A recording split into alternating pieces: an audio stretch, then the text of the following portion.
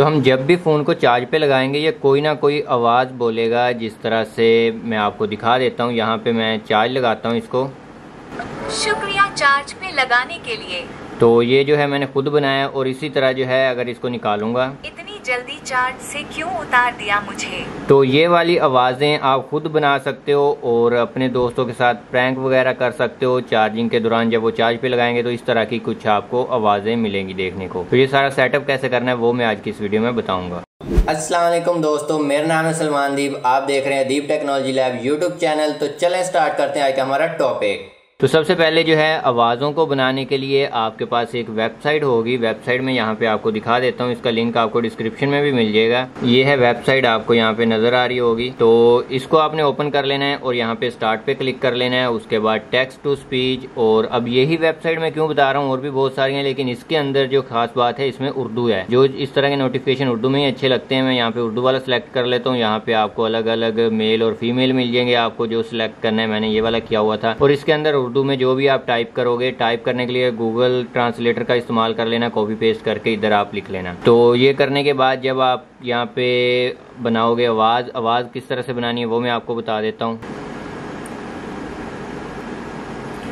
मुझे चार्ज पे वापस लगाओ। तो इस तरह से मैंने यहाँ पे उर्दू लिखी, उर्दू आ गई मैंने कॉपी की कॉपी करने के बाद दोबारा इसके अंदर पेस्ट कर दी। तो यहाँ पे ये बन चुकी और सिंपल मैं यहाँ पे क्रिएट ऑडियो पे क्लिक करूँगा तो ये मेरे पास वॉइस बन रही है।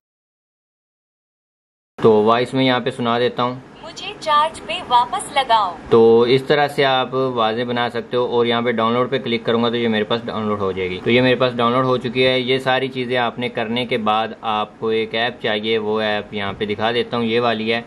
प्ले स्टोर से मिल जाएगी मैं सिंपल इसको ओपन करता हूँ यहाँ पे आप देख सकते हो मैंने पहले से बनाई हुई है अब ये बनानी किस तरह से यहाँ पे प्लस का बटन होगा प्लस के बटन पे क्लिक करोगे यहाँ पे मैं जो है कनेक्टिंग वाला यहाँ पे बना देता हूँ यहाँ पे अगर मैं कनेक्ट करूँ तो मेरे पास यहाँ पे तीन ऑप्शन है आप यहाँ पे अपनी ऑडियो लगा सकते हो या फिर आप जो है अपनी यहाँ पे रिंग टोन लगा सकते हो या यहाँ पे स्पीच टू कर सकते हो यहाँ पे जो टाइप करोगे वही बोलेगा लेकिन इसकी आवाज़ इतनी अच्छी नहीं है तो इसलिए मैंने अलग से बना के इसमें जो है रखे हुए हैं तो मैं यहाँ पे जाता हूँ और ऑडियो सेलेक्ट करने के बाद यहाँ पे आ चुकी हैं और यहाँ से मैं सिलेक्ट कर लेता हूँ।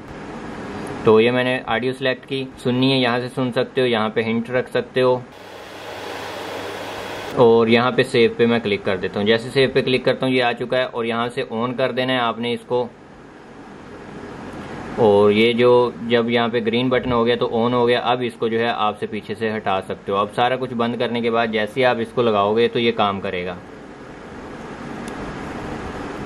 शुक्रिया चार्ज पे लगाने के लिए। तो ये ऐप जो है, आप फन के लिए भी इस्तेमाल कर सकते हो या अपने दोस्तों के साथ प्रैंक वगैरह करने के लिए भी इस्तेमाल कर सकते हो। यही थी आज की हमारी वीडियो। बाकी मिलते हैं नेक्स्ट वीडियो में। तब तक के लिए खुदा हाफिज़।